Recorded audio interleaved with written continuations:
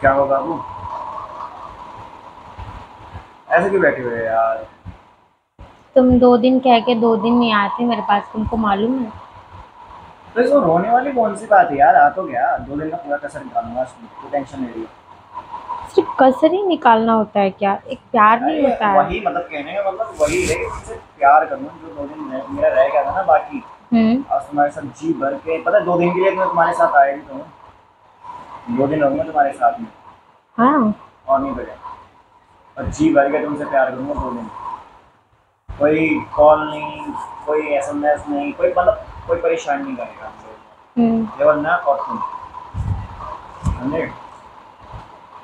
तो तुम अपने घर पे क्या बोले हो?